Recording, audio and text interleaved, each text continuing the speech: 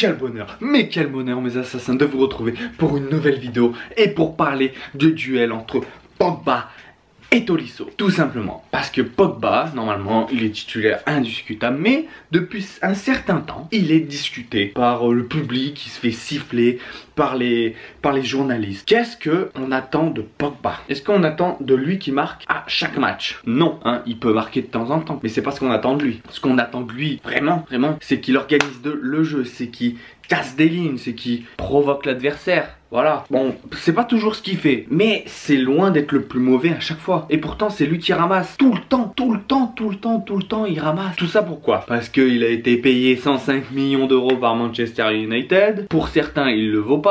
Bon, ça c'est des chiffres, hein. Dembélé, c'est je sais plus combien. Voilà, euh, Lukaku c'est 80 millions, bah il le vaut pas aussi.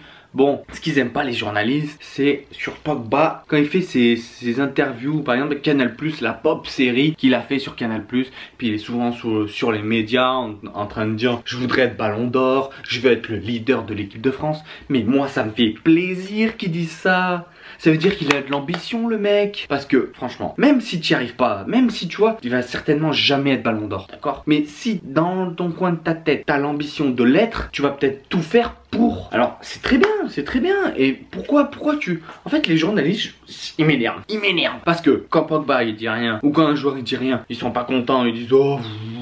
Oh là là, la langue de bois, machin, truc, bidule chouette, voilà. Et quand ils disent quelque chose, eh ben ils le crament. ça m'énerve ça. Pogba, franchement, franchement. Contre, euh, contre les USA, il a fait à peu près un bon match quand même.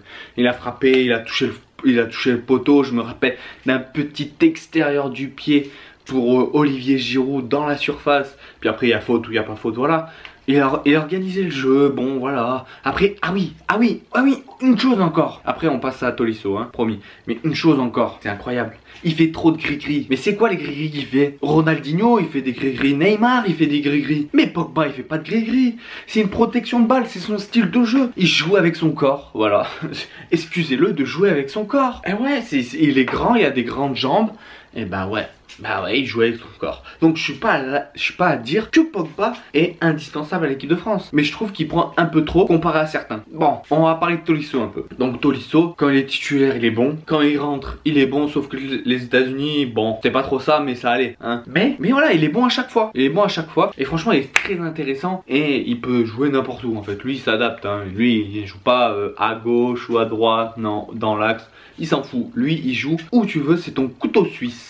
Ça, c'est très intéressant de l'avoir. Entre le duel Pogba-Tolisso, victoire de Tolisso. Sur la forme actuelle, Tolisso, il est bien meilleur que Pogba. On est d'accord. Mais moi, moi, en fait, qui me pose problème, c'est Matuidi. Est-ce que tu as vu le match de Matuidi contre l'Irlande du Nord et le match de Matuidi contre euh, les USA, les, États-Unis? Tu, l'as vu ce match ou pas? Moi, moi je l'ai pas vu sur le terrain. C'était Gasper. Ah, c'était un truc de fou. Sérieux. Matuidi, Matuidi, je sais pas ce qu'il a. Et, mais pour moi, il a perdu sa place. Pour moi, le mieux de l'équipe de France, exactement, c'est Kanté, Pogba, Tolisso. Pas terminé. La compo, après, elle est parfaite. Didier Deschamps, c'est parfait ce que tu fais. Hein. Tu mets les joueurs à leur place, à leur meilleure place surtout. Parce que tu mets un milieu à 3 qui renforce le milieu de terrain. Tu mets Griezmann en libre, tu vois, qui tourne autour des attaquants, qui fait le jeu, qui voilà. Donc ça veut dire que t'es 4 au milieu de terrain dans l'axe. T'es costaud dans l'axe. Voilà. Deux attaquants, une pointe, un point de fixation. Giroud. Giroud, il est critiqué si vous voulez. Il y a pas de souci. Mais de la tête, il est là. De la tête, il est là. Et il peut faire des déviations et tout ça. Mbappé, c'est son poste préféré. C'est son poste à Mbappé. Il joue deuxième attaquant. Voilà, c'est là où il est le meilleur. Tu vas me dire, mais il y a beaucoup de joueurs dans l'axe quand même. Ce qui permet normalement normalement aux latéraux de monter. On a des latéraux qui veulent monter, qui kiffent monter surtout. Et eh ben, Didier Deschamps pour moi il a fait la composition idéale. C'est exactement ce que je voulais faire. Je voulais en faire une vidéo mais bon vu qu'il l'a fait, euh, voilà je vous en parle dans cette vidéo. Donc Pogba, Matuidi, entre Pogba et Matuidi c'est Pogba qui gagne, c'est tout. Tolisso il est meilleur que Pogba en ce moment et il mérite de jouer. Mais Pogba il est meilleur que Matuidi. Donc voilà, cette Coupe du Monde va bientôt commencer. Je vous invite à me rejoindre sur tous mes réseaux sociaux pour ne rien louper de cette Coupe du Monde, tout au nom de Rafé Chaud. C'est très simple. Facebook, Twitter, Instagram, c'est tout à Rafé Chaud, d'accord? Donc bien sûr, il te reste plus qu'à t'abonner, partager, commenter et liker cette vidéo. C'était Rafé pour vous servir. Restez branchés. On est ensemble, mes assassins, et faites-moi rêver. tour des meilleurs, je suis élitiste. Je vous laisse les autres, je vous laisse les hitistes. Je suis venu amener rocher à l'édifice. Tellement fier de la mif que je ferai édifice. Gagne à l'extérieur à domicile.